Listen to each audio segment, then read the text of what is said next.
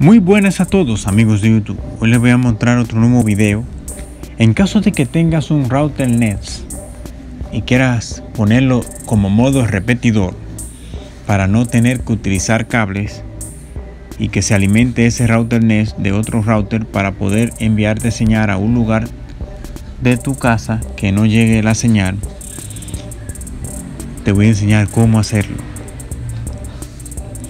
Vamos a entrar al router lo primero que vamos a hacer es poner el código que nos permite el acceso a ese router.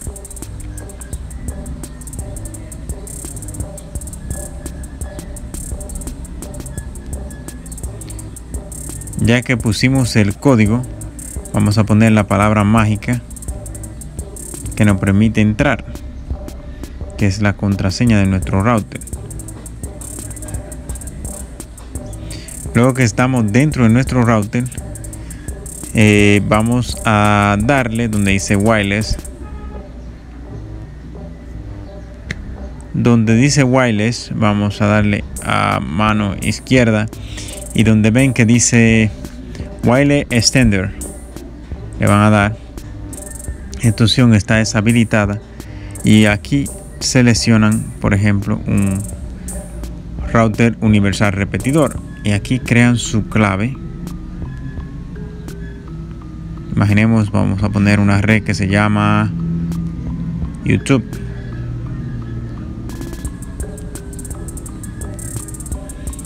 Luego van a seleccionar el canal pero yo les recomiendo que no seleccionen nada de eso porque se selecciona automático luego que, que lo hacemos. Luego van a seleccionar si la red quieren que sea abierta o cerrada con contraseña lo recomendable que pongan contraseña. Imaginemos que puse una contraseña. Ya puse una contraseña.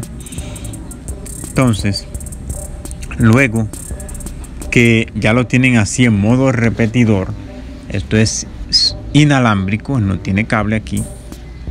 Vamos a darle donde dice Open Scan.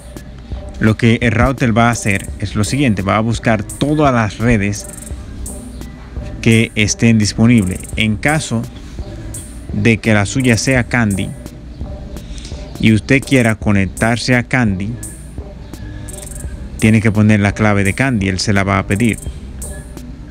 Luego usted selecciona y lo hace. No lo hago porque ya mi router está conectado por cable. Pero en el caso de usted, usted selecciona su propia red, que usted se sabe su contraseña que usted se sabe todo de esa red, le va a dar, él le va a pedir una contraseña de esa red que usted se quiere conectar. Pero aquí arriba, donde dice keep, que es llave, la clave, es la clave que usted le va a poner a esta nueva red que se llama YouTube. Eso no tiene nada que ver con la red de abajo que dice Candy. Entonces, luego que usted se conecte a su red, le va a pedir contraseña. No lo hice porque mi router está conectado por cable y ya tengo redes preestablecidas y configuradas. Pero de esta forma tan sencilla es que podemos hacer ese cambio en nuestro router para que ese router NES se pueda conectar de manera inalámbrica a otro router que esté mandando una señal. Luego que ocurre eso, el router se va a reiniciar de manera automática. Y es así de sencillo como podemos configurar nuestro router NES para que sea en repetidor. Ahí como pudieron ver de manera rápida hay varias opciones. Podemos ponerlo como puente, podemos ponerlo abierta la clave para que él simplemente coja de otro y la mande abierta la contraseña como ustedes quieran.